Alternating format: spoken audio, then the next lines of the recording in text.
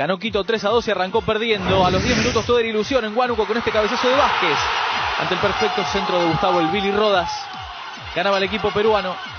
Lo va a dar vuelta rápidamente Quito aprovechando los errores defensivos del equipo local, que era todo entusiasmo en el principio del juego. Hasta aquí se igualaba el global y nos llevaban a los penales. Sin embargo, faltaba tanto. Apenas un minuto y medio más tarde, Bebacua y Vila Wilkins armaron esta jugada y con mucha precisión los dos delanteros se las ingeniaron para empatar el partido.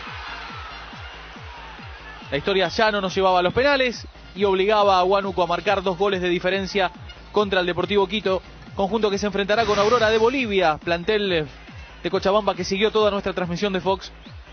También el profesor Julio César Valdivieso, su entrenador. El penal insólito de Lojas a Saritama, que el propio número 10 cambió por gol. A los 25 se ponía al frente Deportivo Quito con un tiro libre.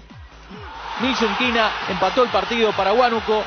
Parecía que este gol en la instancia ya final del primer tiempo le iba a dar ánimo al equipo peruano para ir a buscar dos goles de ventaja. Sin embargo, luego de un par de situaciones de Rodas y de Almirón, apareció esta contra. Y Paredes, que en el segundo tiempo adelantado, por decisión de Insúa, jugó muy bien, metió el centro, se lo hacía en contra Araujo, la empujó Bebacua, el mejor de la cancha para la clasificación del equipo ecuatoriano.